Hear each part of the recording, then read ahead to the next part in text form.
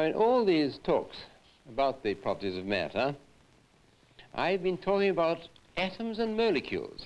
I have to because atoms and molecules are the building stones of which matter is made. And if we're to understand the way uh, property, uh, bodies acquire their properties and why they work, we must talk about it in terms of these building units. These atoms and molecules, why do I always link them together? Well, these small bodies of which matter is made are of two kinds, simple and complex. The simple units are the atoms themselves. They're the atoms of the elements, of which we know 90 odd, like oxygen or sulfur or copper. They're small bodies, all exactly the same. And a body like copper is built up of these atoms. Far more commonly, these atoms are grouped together in little family parties. Several atoms of different kinds unite together and make an absolutely definite structure. It's rather like the game of happy families, a sort of Mr. Atom, Mrs. Atom, Master Atom, and Miss Atom all stick together as a family. Only, of course, they can be larger and more complex than that. It was Dalton who first of all showed that you would explain the way bodies combine together by talking about these molecules. Uh, here, for instance, is a model which represents a sugar molecule, a group or family party of atoms. These white ones here represent the hydrogen atoms, these black ones the carbon atoms, and these red ones the oxygen atoms. And all molecules of this particular type of sugar, what we call cane sugar, are exactly like this. These are the identical building stones of the substance we call sugar. Here is another molecule. This thing which looks rather like a caterpillar is one in which there are hydrogen and carbon atoms all along its body, so to speak, and in the particular type I'm trying to represent here, which might be an oil or something of that kind, at one end of this chain there's an active group, a group represented by this red atom here. So here again is another molecule. And the point is that we talk of atoms and molecules as the building stones of matter, we must remember the atoms are the simple ones all exactly alike that build up the elements. The molecules are also the fundamental building stones, but they are the building stones of a far larger class of compounds made by family parties of atoms held together by chemical bonds, as in this model here. Now, uh, these then are examples which show the difference between the atom and the molecule. Remember that always, the atom the simple thing, the molecule the little family party, but both are alike in that any one compound body, which is pure, is built up of units exactly the same kind, uh, like the simple atom or one of these things. Now, I want to try and make you realize that these atoms and molecules are real things. Why is it so difficult to do so? It's because they're so very small. The very fine to have a model of sugar like this, but we must remember that the distance between two atoms in such a model is about a hundred millionth of an inch, a very small amount indeed. And it's difficult to imagine anything on that scale. For ordinary measurements, we use, say, a centimeter ruler. We divide it into centimeters. Now, if we wanted a little ruler to measure up molecules, it would have to be divided into 100 millionths of a centimeter. And that would be a convenient scale to use for our measurements. And to make it easier to try and comprehend anything as small as this, I want to show you that it's really not as bad as it looks at first sight. To do it, I'm going to use a kind of ladder of size, a scale of size. Here now is my scale. It starts with one at the top, something, say, an inch across, something you can easily see and handle. 10 to the minus 1 means 1 tenth of that size, 1 over 10. 10 to the minus 2 is 1 over 100, 1 over two tens multiplying each other. 10 to the minus 3, 1 over 1,000, and so on until that's 1 over 100 million. Now, what I'm going to show is this. If we have a scale like that, we can quite easily picture, think of it as a kind of ladder, we're going down it rung by rung. It's quite easy to climb down these first few rungs, three or four of them, by objects we know in ordinary life, and if only we go on climbing down a few more rungs, we only have to do eight rungs in all before we get down to the atom. So you see, it's, it's nearer things that we're accustomed to than you might think. Well, let's start our climb. I've got our climb down, I should say. Here I've got two crystals of sugar, rather fine crystals. They'll do for the start of our scale, uh, because they're inch or so across they can represent number one on the scales we set up. And here we've got coffee sugar. These crystals, these are the kind one uses on rather grand occasions for coffee. And they're rather convenient because in going from there to there, we go down just about one rung of the ladder. These are about a tenth as large each way as these crystals with which we started. And conveniently again, we go from here to here to soft sugar. These little crystals of soft sugar are about one-tenth of the size of the coffee sugar crystals. And in the next stage, perhaps, we might take icing sugar. Already, the crystals are getting so tiny there that if I'm to see them, I must look at them like this through a lens. So there we have the first three steps of our ladder from this kind of sugar, these rather rare big crystals, this that you're very accustomed to, this is the kind of coffee sugar, uh, which is exactly, almost exactly one-tenth the size of those. Here is the soft sugar, which we use so much in the home, a tenth of that again, and here is icing sugar, a tenth of that again. So you see, we can go down quite painlessly these first rungs, starting with our big sugar crystal. There's the coffee. Now these others are almost too small to stick on, but, uh, but uh, soft sugar would look rather like that. And uh, icing sugar, I make a little dot like that, which I expect you could hardly see. But there is something familiar. Now already when we get down to the size of icing sugar, it's very hard to see the little crystals of it. So when we look at an object like that, what we generally do is to look at it with a lens. If I take this lens and look at my icing sugar, I can actually see the individual little crystals of it. So opposite this, I'll put the thing we have to use to see it. And I'll put lens there representing, uh, looking at something about that 10 to the minus 3 size. If anything gets smaller than that, we've really got to use a microscope. A lens fails us. When we go down to the next rung of the ladder, about 10 to the minus 4, it is almost impossible to see it with a lens. And so we use a microscope. It was a great discovery uh, made in the 1600s that one could by combining lenses, get an instrument that enabled one to magnify things as greatly as a microscope does. Hooke was one of the great people in this country to examine various bodies with a microscope, and the first slide I'm going to show you is one of Hooke's famous drawings of what he saw through his microscope. You may recognize it. It's the drawing of a flea. It's only with a microscope that one can see fine details like those bristles on the flea's tail or the spikes on its legs.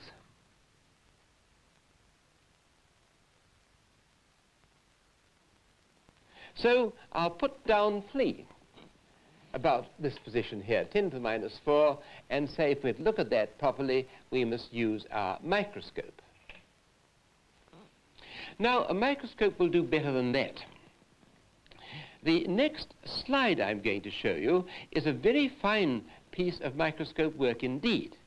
The microscope is looking at bacteria. And bacteria are down on this scale, in the sort of 10 to the minus 5 region, a little bit higher perhaps than 10 to the minus 5 itself.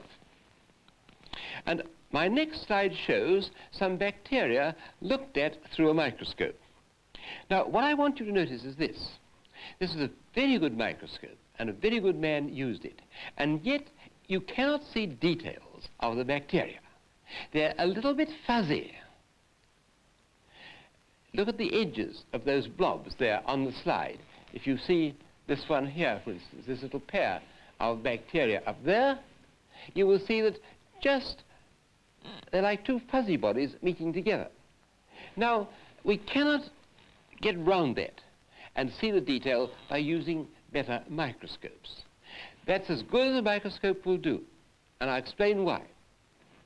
A microscope uses light to get its effects.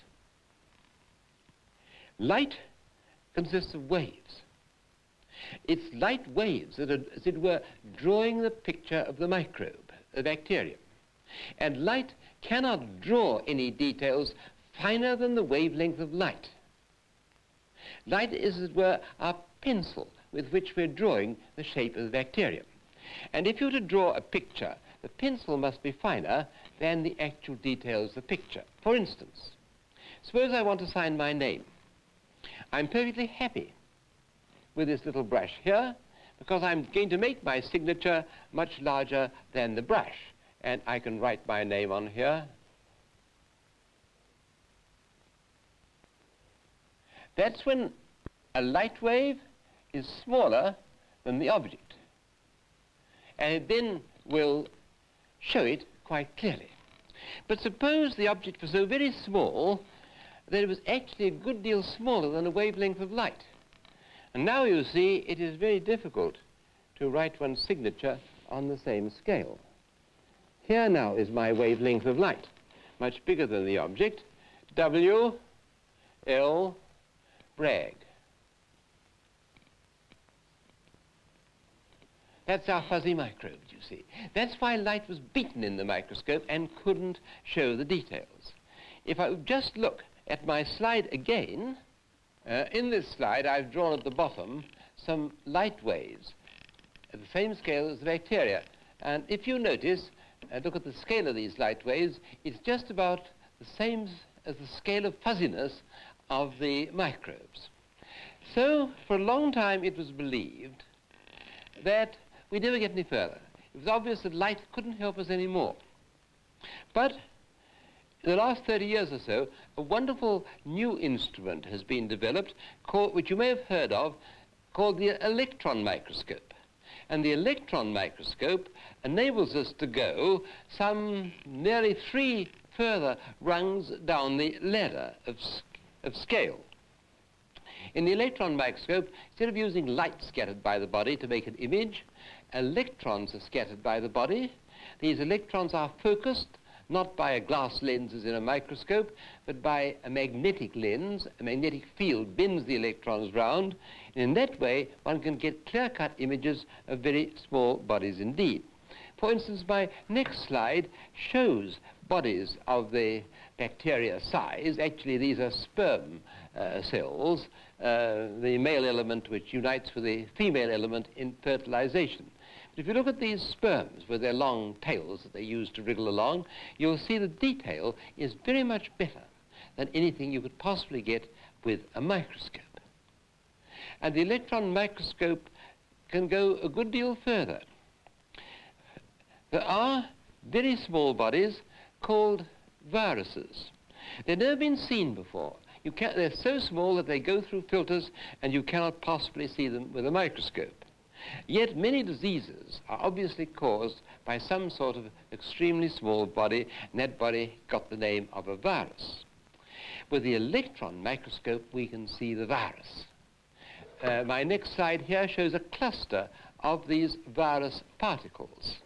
Uh, they're very regular little bodies, so regular that they crystallize, as it were. They come together in a regular array like the molecules in a crystal. So now, that we've got the electron microscope, we can see the virus, and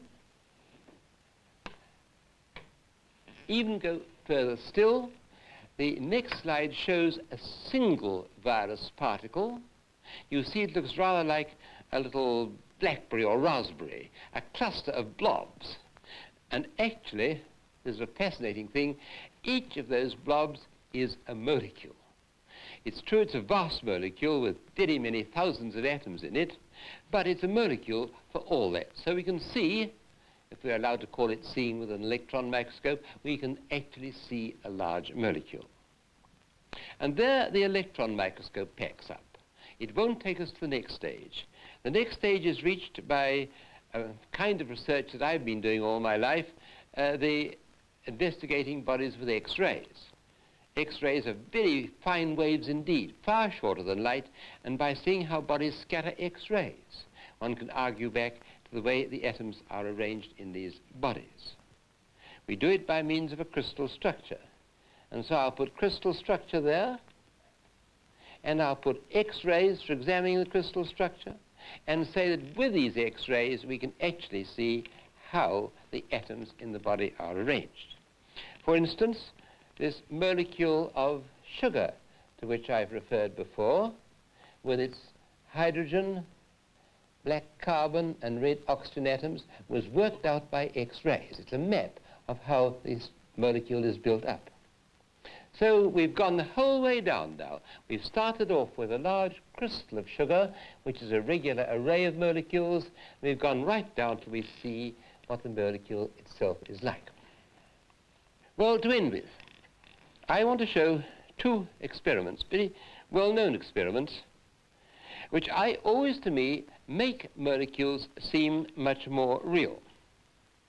The first of these experiments was done, done by the great Lord Rayleigh. And he, for the first time, got an idea of the actual size of a molecule. In those days, Dalton's theory that atoms joined together to form molecules had been accepted, but of course nobody knew how big those molecules were. Rayleigh argued in this way. It was known, if you put a, quite a minute drop of oil on water, it spread over the water. It made a film on the water. And Rayleigh guessed, and he was quite right, that this oil spreads out over the water until it forms what's called a monomolecular film. That is to say, the oil molecules all sit on the water side by side and in a pack, kind of raft of oil molecules. So the thickness of this film is one molecule thick. Actually, it's two molecules thick, but Rayleigh was very near it in his guess that it was one.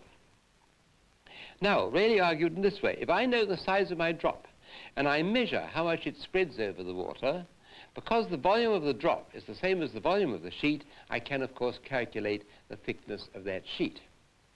And I'll illustrate now the way he did his experiment. I'll do it first in a simpler way.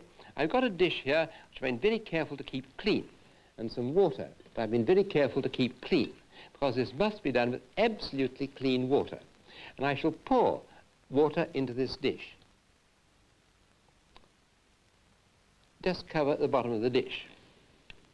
Now, I scatter some very fine powder. It's actually lycopodium powder, fernseed powder, and it rests on the surface of the water. There's a little layer on the water, which I hope you can see. I shall now put a minute quantity of grease on the surface of that water. I can easily do it by rubbing my ballpoint pen over my nose. And I hope you will see, suddenly the oil spreads over the water and drives out the lycopodium powder. And we can measure the area which has driven it out. That's the area of our oil film. That isn't actually the way in which Rayleigh did it. He found out how far the oil had gone by what's called the camphor movements. If again I take a perfectly clean dish like this one, pour my clean water on it,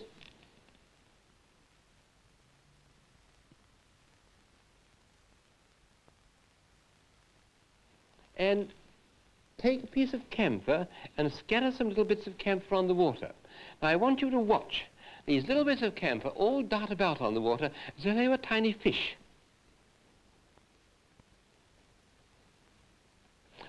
The reason is one which we'll go into a bit more in another talk, it's surface tension. The camphor dissolves more on one side than the other, weakens the surface tension of the water on one side, and the stronger surface tension on the other pulls it away. Now, the more it's pulled away, the more it's going into clean water and leaving soiled water in its wake. So, of course, it goes on and on and on.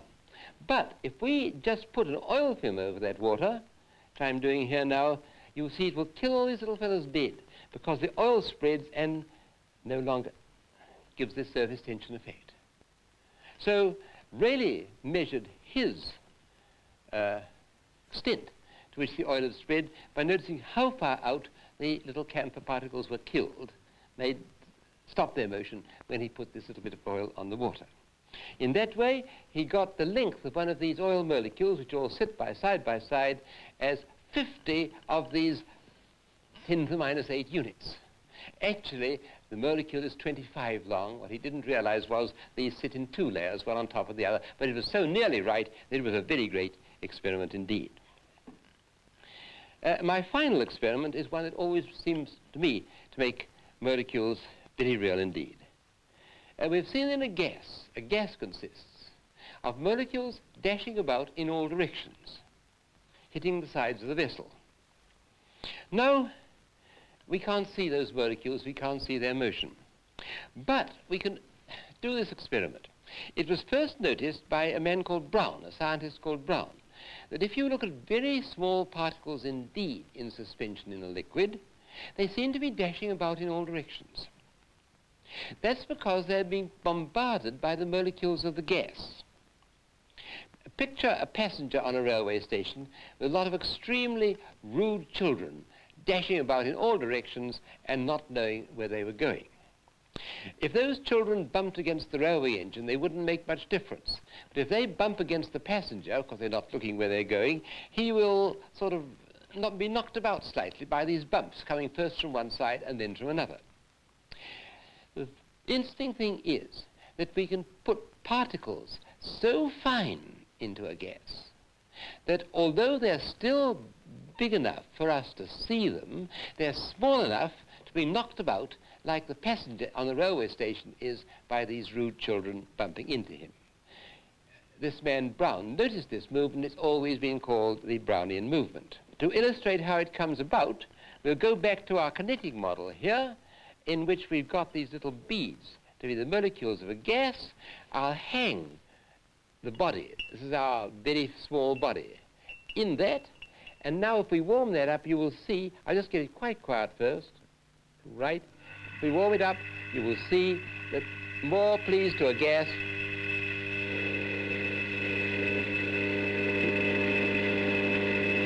Right. Well, now here is the real thing. We've got in the field of view of this microscope a number of very fine particles uh, of graphite in a dilute solution uh, of, of some kind of lubricant. They're small enough to show the Brownian movement. And if I look through the microscope, I can see them dashing about in all directions and right and left and up and down and also ascending and descending in the liquid so that they come into focus and out of focus again. So these then are these motions which Brown was the first to observe, and to my mind, this experiment, actually seeing these little particles knocked about in all directions like this, is one of the most direct proofs that we've really got molecules dashing about in all directions in a gas or a liquid.